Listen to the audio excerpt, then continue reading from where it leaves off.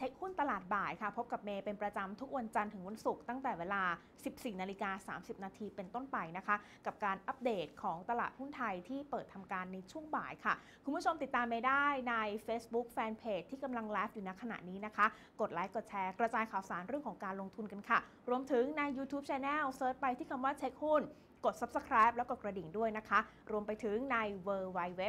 c h e c k h u n c o m ค่ะ อันนี้เป็นเพียงแค่ 3 ช่องทางหลักๆ ยังมีช่องทางอื่นเพิ่มเติม ถ้าอยากจะทราบมีช่องทางไหนนะคะ ก็ไปดูกันได้ที่แฟนเพจ Facebook ของเช็คหุ้นเช่นกันค่ะ วันนี้ตลาดหุ้นไทยดูเหมือนจะอ่อนแรงไปสักเล็กน้อยนะคะ เพราะว่ากับสิ่งที่คาดหวังเอาไว้ เรื่องการเซ็นการเจรจาการค้าระหว่างสหรัฐกับจีนในเฟสที่ 1 ดูเหมือนมีทั้งข่าวดีและข่าวร้ายผสมปนเปกันไปค่ะกับเหตุการณ์นี้ ข่าวดีคือว่าเซ็นแน่นอนนะคะ ถ้าเทียบเป็นเวลาประเทศไทยก็ตรงกับช่วง 5 ทุ่มของวันนี้นะคะ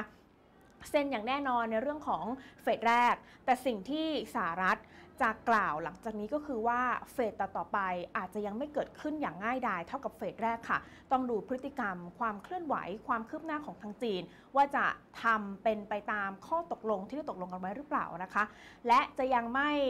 ลด เกี่ยวกับเรื่องของอัตราภาษีนำเข้า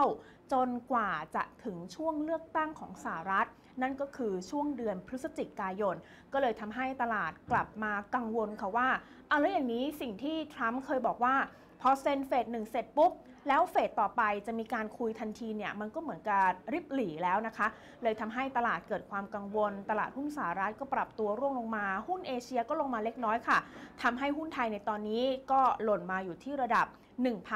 1,570 จุดนะคะ คือถ้าหลุดแนวรับสำคัญนี้ไปเนี่ยก็จะไปเจออีกทีหนึ่งก็คือที่ระดับ 1,560 จุดนั่นเองค่ะ ตอนนี้ ปัจจัยต่างประเทศสิ่งที่คาดหวังเอาไว้กลับกลายเป็นว่าไม่เต็มไม่เป็นไปตามที่มองนะคะ ส่วนปัจจัยในประเทศแม้ว่า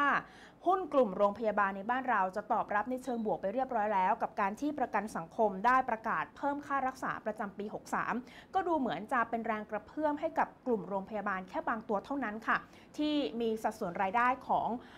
บุคคลหรือว่าผู้ป่วยในประกันสังคมเนี่ยที่เทียบเป็น รายได้ของผู้ป่วยนะคะสูงถึง 1 ใน 3 ของรายได้รวม ก็ไม่ได้เป็นแรงผลักดันสำคัญที่ทำให้เซ็นดี x นั้นสามารถปรับตัวบวกได้อย่างแข็งแกร่งค่ะ เป็นเพียงปัจจัยบวกแค่ระยะสั้นสำหรับหุ้นในกลุ่มโรงพยาบาลเท่านั้นนะคะ เลยมีแรงเก็งกำไรมาแค่บางตัวเท่านั้นวันนี้ถ้าดูจากทิศทางของการลงทุน หุ้นกลุ่มโรงไฟฟ้า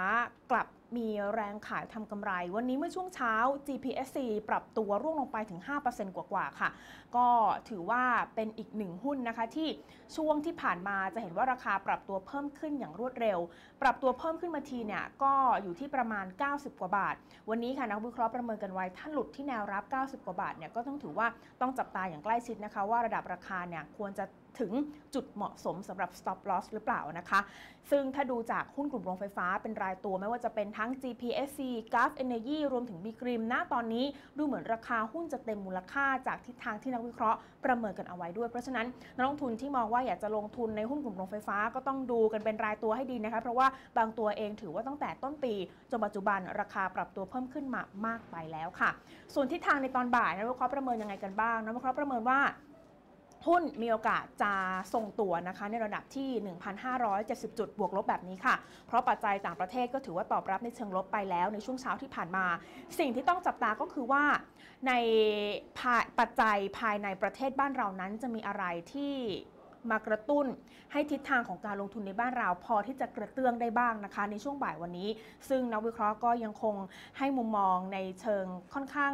ลบสักเล็กน้อยกับภาพของการลงทุนประจำวันนี้ค่ะ เพราะว่าปัจจัยต่างประเทศนั้นกดดันเหลือเกิน เพราะว่าคุณทรัมป์ก็ค่อนข้างที่จะไม่ได้เป็นไปตามที่กล่าวเอาไว้ หรือว่าระบุเอาไว้ตั้งแต่ในช่วงปลายปีที่ผ่านมานะคะ เลยทำให้ตลาดก็ถือว่ามีการเซลล์ออนแฟก กับประเด็นนี้มากพอสมควรค่ะ มาดูกันว่าแล้วมุมมองที่ถ้าเห็นตลาดหุ้นไทยทรงตัวที่ระดับ 1,570 จุดแบบนี้ ยังจะมีหุ้นลักษณะแบบไหนที่ยังสามารถเข้าไปลงทุนได้ โดยเฉพาะดูจากสัญญาณทางเทคนิคนะคะ วันนี้เริ่มต้นที่ทางบริษัทหลักทรัพย์ ASL ค่ะ ตัวแรกคือ Com7 Com7 นี้ดูจากสัญญาณทางเทคนิคยังยืนแนวต้านขาลงที่ EMA 10 วันได้อย่างมั่นคง แท่งเทียนยืนแนวต้านที่มีโอกาสจะปรับตัวขึ้นได้อย่างต่อเนื่องค่ะ มีรูปแบบ V shape ทดสอบแนวต้านที่ 25 บาท 50 สตางค์ไปได้นะคะ ระยะสั้นก็สามารถที่จะดูทิศทางของราคาหุ้น ถ้าเน้นยืนกรอบแนวรับที่ 24 บาท 20 สตางค์ไปได้ ก็ถือว่าเป็นสัญญาณที่ดี แต่ว่าอย่าลืมตั้งคัดลอสเอาไว้นะคะ หากราคาต่ำกว่า 24 บาท 20 สตางค์เพราะว่าถ้าต่ำกว่านั้นจะเป็นการที่หุ้นนั้นมีโอกาสจะปรับตัวลงไปลึกเลย โดยสัญญาณต่างๆ อย่าง slow stochastic ก็ตัดขึ้น RSI ก็ชี้ขึ้นเป็นโมเมนตัมบวกด้วยค่ะ แนวต้านในรอบนี้มองเอาไว้ที่ 26 บาท 75 สตางค์ มาที่ตัวที่ 2 ค่ะที่ SL แนะนำก็คือ Tasco Tasco นี้แท่งเทียนเปิดยืนแนวต้านขาลงที่ EMA 10 วันได้อย่างมั่นคง มีโอกาสจะปรับตัวขึ้นต่อทดสอบแนวต้านที่ราคา 21 บาทระยะสั้นนะคะ การปรับตัวเน้นยืนที่บริเวณแนวรับ 20 บาท ไม่ควรจะต่ำกว่านี้ค่ะ เพื่อลดความเสี่ยงของขาลง ส่วน slow stochastic ก็มีแนวโน้มตัดขึ้น RSI ก็ชี้เป็นโมเมนตัมบวกด้วยนะคะ ต่อมามุมมองของบริษัทหลักทรัพย์ Globex ค่ะ วันนี้เริ่มต้น Globex มาจากหุ้น RS แนวรับประเมินที่ 12 บาท 30 สตางค์ แนวต้านประเมินไว้ที่ 13 บาท 60 สตางค์ค่ะ วอลลุ่มในวันนี้เข้าเป็นวันที่ 2 ด้วย MACD ส่งสัญญาณซื้ออย่างต่อเนื่อง หากผ่านเส้น EMA 50 วันที่ 13 บาทได้ มีโอกาสขึ้นทดสอบที่สัญญาณทางเทคนิค EMA 75 วันที่บริเวณ 13 บาท 60 สตางค์ค่ะ อีกตัวหนึ่งสเต็กสเต็กเป็นหุ้นกลุ่มรับเหมาก่อสร้างที่มีแรงซื้อกลับเข้ามาทำให้ราคาหุ้นปรับตัวเพิ่มขึ้นได้อย่างโดดเด่น ตั้งแต่ในช่วงการพิจารณาของคอรมอเกี่ยวกับ เรื่องงบประมาณนะคะ วาระ 2 และวาระ 3 พอผ่านไปเรียบร้อยก็ทำให้เห็นเม็ดเงินเนี่ยกระจายออกไปในโครงการต่างๆ พอเห็นเช่นนี้แล้วค่ะ ก็ยิ่งเห็นราคาหุ้นของกลุ่มรับเหมาก่อสร้างปรับตัวเพิ่มขึ้นนะคะ ทั้งชอการช่างทั้งสเต็กทั้งไพลอนถือว่ามีการปรับตัวเพิ่มขึ้นได้เป็นอย่างดีไม่เช่นนั้นค่ะทำให้ทิศทางในลักษณะแบบนี้เราจะเห็นว่าสัญญาณทางเทคนิคบ่งบอกได้เป็นอย่างดีเลยนะคะ โดยมองว่าถ้าราคาทยอยไต่ระดับขึ้นจาก ระดับที่ 15 บาท 60 สตางค์ แล้วก็มี volume เข้ามา support ส่วนสัญญาณทางเทคนิค ทั้ง slow stochastic แล้วก็ MACD ก็คาดว่าจะราคานั้นมีโมเมนตัมขึ้นต่อไปได้ แนวต้านถัดไปอยู่ที่บริเวณ 17 บาทค่ะ ต่อมา มาดูกันต่อสำหรับมุมมองของบริษัทหลักทรัพย์เมย์แบงก์ กิมเอ็งเมย์แบงก์ กิมเอ็งได้ประเมินไว้เกี่ยวกับโรงพยาบาลค่ะ BCS ถือว่าเป็นหนึ่งในโรงพยาบาลที่มีรายได้จากผู้ป่วยประกันสังคมสูงถึง 1 ใน 3 ของรายได้รวม เพราะฉะนั้นการที่ประกันสังคมประกาศอย่างชัดเจนนะคะ เป็นออฟฟิเชียลเลยว่าจะเพิ่มค่ารักษาปี 63 แล้วก็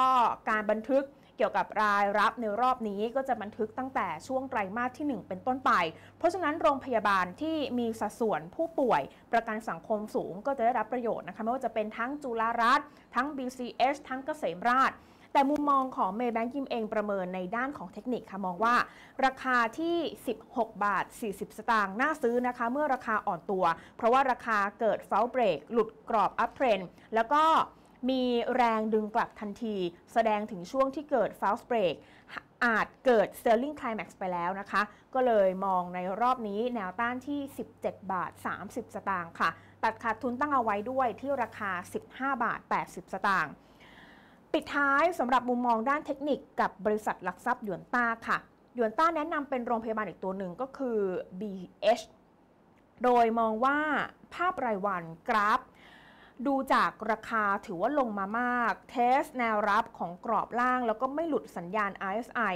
เลยเกิดเป็น hidden bullish divergence พร้อมกับมีการ rebound ขึ้นผ่านเส้นค่าเฉลี่ยเคลื่อนที่ 20 วัน ทำให้ระยะสั้นประเมินว่าราคามีโอกาสจะปรับตัวขึ้น test แนวต้านบริเวณกรอบบนได้นะคะ แนวต้านกรอบบนประเมินไว้ที่